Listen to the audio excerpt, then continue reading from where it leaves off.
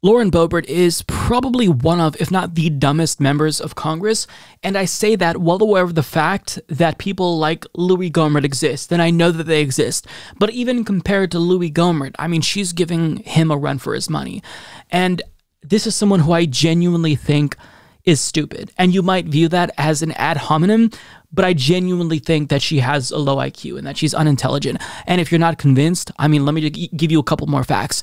Uh, she is a member of QAnon. She actually subscribed, at least at some point, to the QAnon conspiracy theory. On top of that, she conspired with January 6th insurrectionists.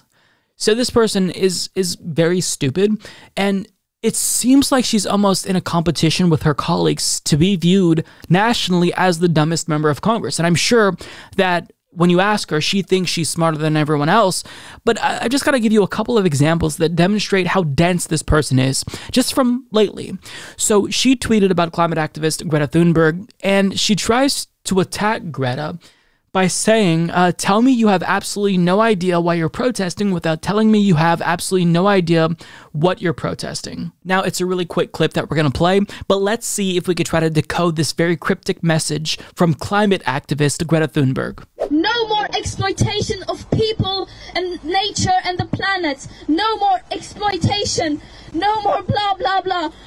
No more whatever the fuck they're doing inside there.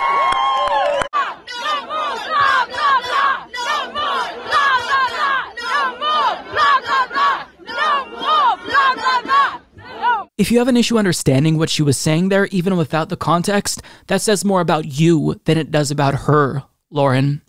I think it's clear that she is calling on leaders at the UN Climate Change Conference to take action. Stop using flowery words, stop trying to placate climate activists, and actually do what is needed to save the planet. If you don't get that that's what she's trying to say, I mean, I can't I can't help you there. Maybe this issue is just too big for your comprehension. Uh, but there's another issue that she decided to weigh in on, and that is the paternity leave debate that's all of a sudden being turned into a cultural issue by the right.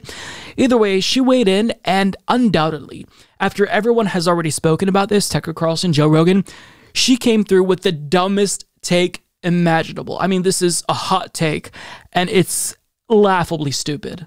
Mayor Pete was on a two month maternity paternity, whatever the heck you want to call it, leave. The guy was gone. Okay. The guy was not working. Because why?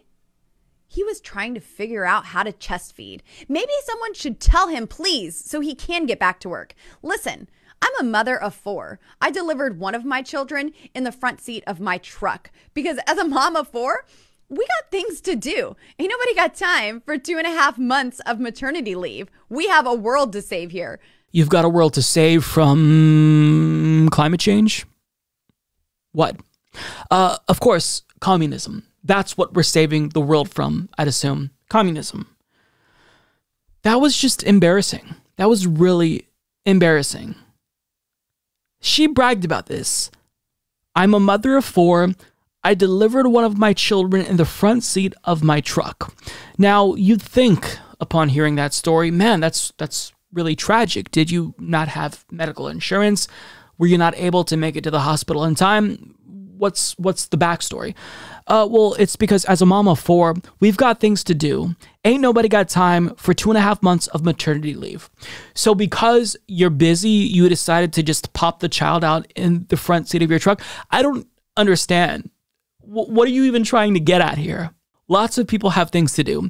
But if you're literally delivering a child and you purposefully delivered your baby in the front seat of your truck because, quote unquote, ain't nobody got time to take time off, you're a fucking moron. And I don't believe that she delivered the baby in the front seat of her truck because she was short on time. I, I just don't believe that. And if you think that people delivering their babies uh, in the fronts of trucks and getting quickly back to work is like some virtuous thing that we should celebrate as a society. No, it actually speaks to the barbarity of America. Aren't you supposed to be a pro life person, by the way? I mean, isn't paternity and maternity leave a pro life policy? Don't you think that if you are pro family, you would encourage parents to take the time to take care of their babies and get to know their babies. I just, this is so stupid. People are busy, so they're just like popping those fucking babies out. They're flying out, literally, and um, somebody's catching it, and then they're getting right back to work.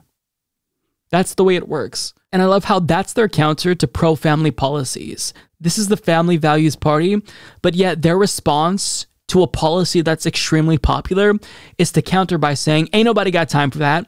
They'll recite a meme from 2013 before they actually put up a legitimate counter argument to paternity and maternity leave.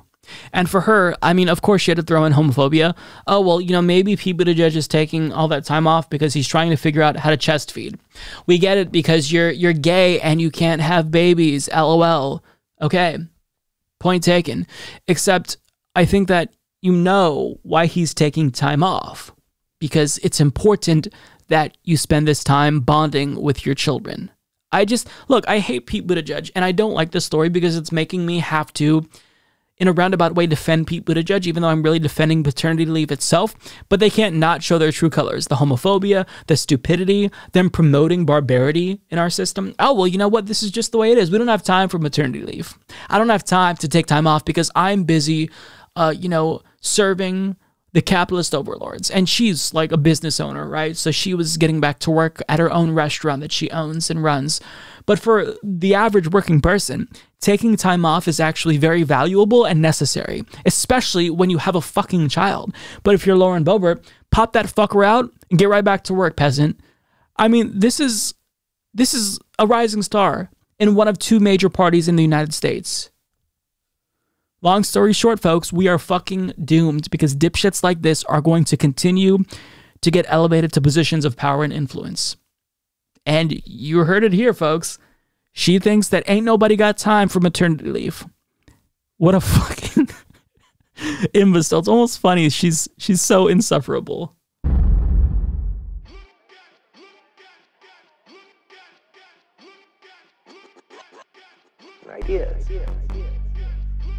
Ideas. Ideas. Ideas. Ideas. In recovery mode, my brain ideas. In recovery mode, my brain ideas.